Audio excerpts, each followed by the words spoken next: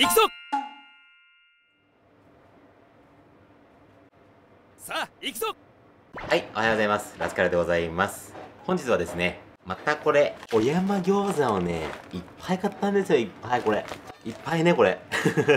で、前回はアレンジとかをせずにね、普通に焼いて食べたんですが、今回はね、ちょっとトッピングとかをプラスして、いろいろな方法で楽しんで食べていこうと思っております。はい、ということで、今回はね、二鍋体制で焼いていきたいと思います。まず、餃子を並べまして、ここに熱湯をね、注いでいきます。こっちも。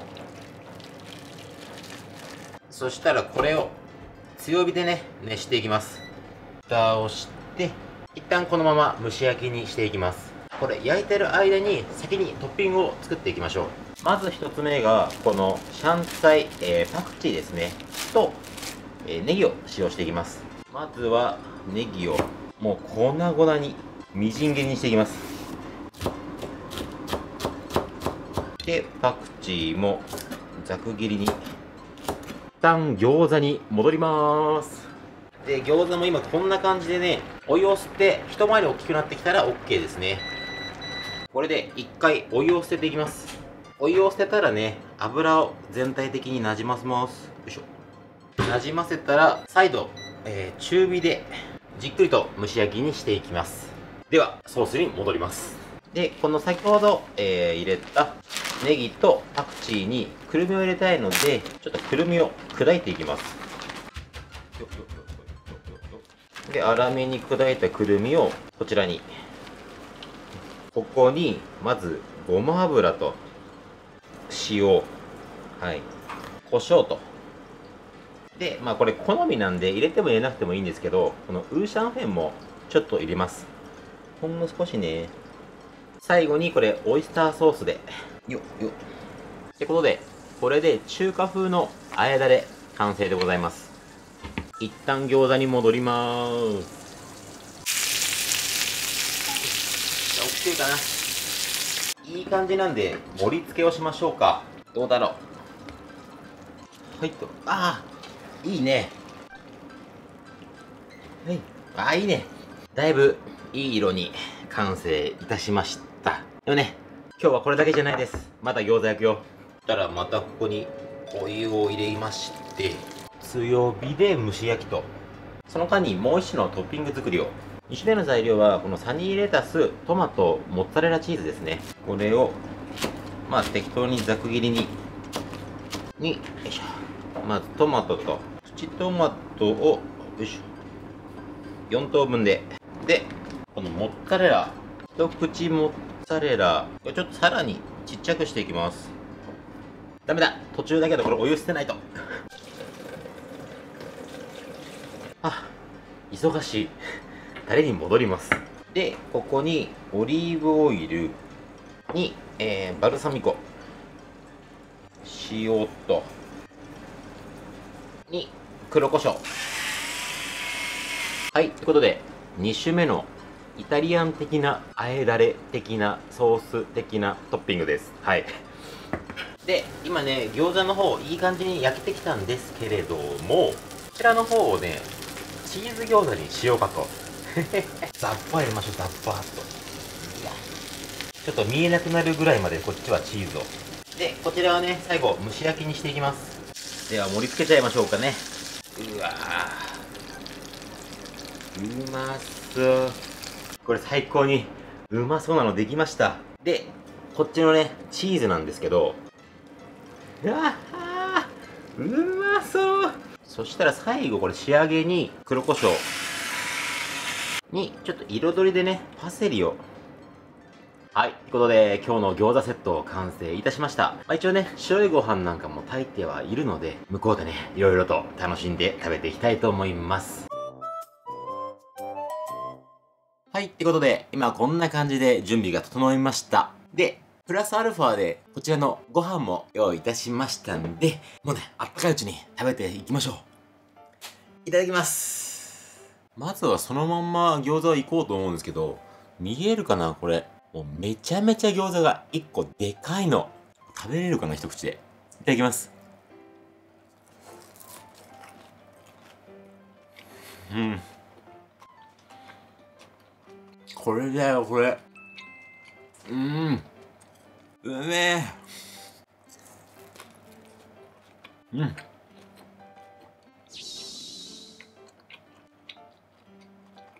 最後ねこう油をなじませる時に多めにやったんですけどそのおかげで表面がこうパリッとしてるんだけど中がねめっちゃジューシー。うまい。じゃあ今日お醤油じゃなくてこの酢胡椒も用意しました。酢胡椒いいよね。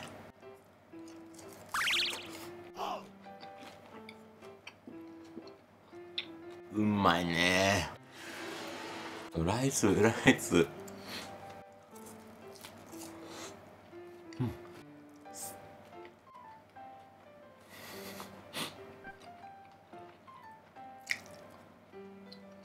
これ今日幸せすぎるわ。うまい。ちょっとこのチーズ餃子いってみようか。冷める前に。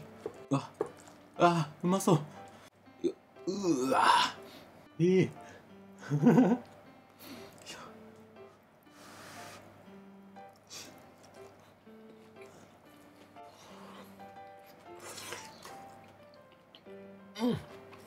あうまっ。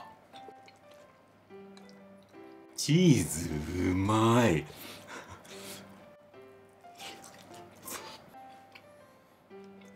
もう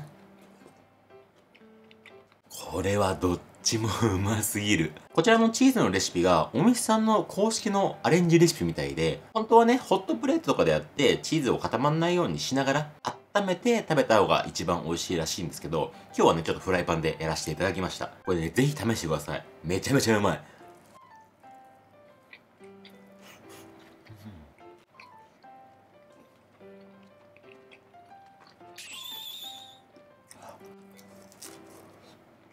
うん。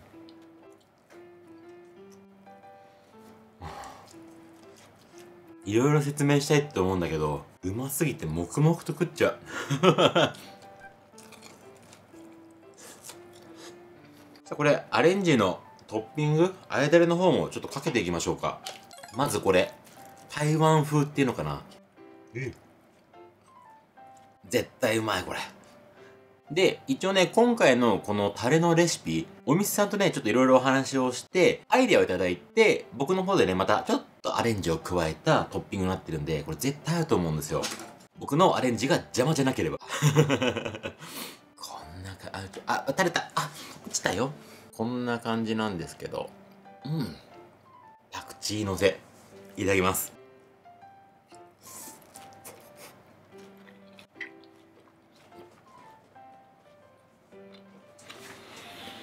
うん うまっあこれめっちゃうまいまちょなんか話す前にもう一個食べていい？ダメだうまい。うん。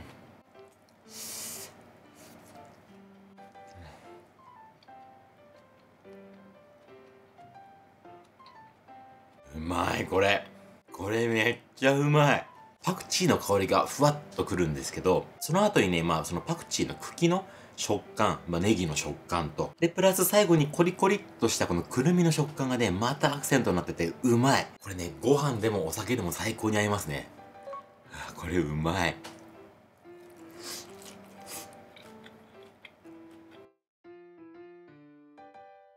そしたらこれビール開けちゃいますか。ね。うん。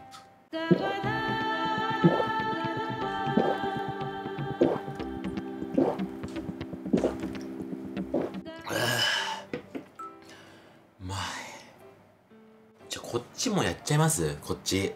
まずこれ餃子に、よいしょ、合わせましょうか、これこう。一緒に食べるの難しいな、でも。あ、一緒には無理かも。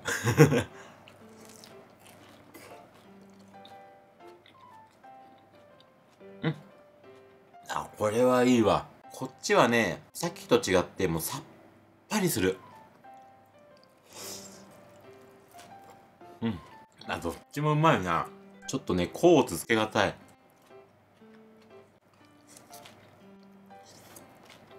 これでも、ビネガーももちろんうまいんですけど、フルーツ酢とか、ないろんなね、アレンジが効きそうですね。あ、これうまいかも。うん。やっぱりね、1個がめっちゃくちゃでかいから、お腹にすごくたまる。ちょ、これ、こっちな気がするんだよな。これちょっとスプーンでいっちゃいますね。一緒に食べにくいんで。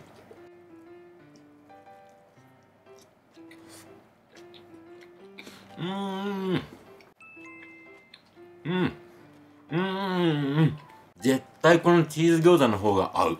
めっちゃうまい。うん。うん。でも今、この2つのね、トッピングをして食べて思ったんですけど、あんの旨味がすごい。全然ね、塩分とか下味が濃いわけじゃないんですけど、こういったね、味の濃いめのトッピングを加えても、全然ね、あんの旨味が薄まらない。存在感がすごいですね。めちゃめちゃうまい。この餃子ね、いろんな人に食べてほしい。うん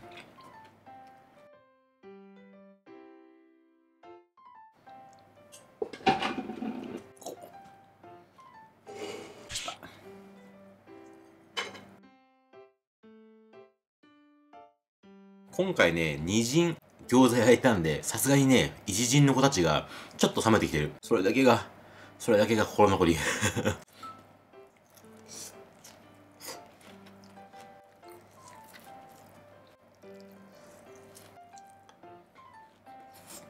うん。うんうん。うん。はい。ということで、こちらが最後の一口でございます。うん。うん。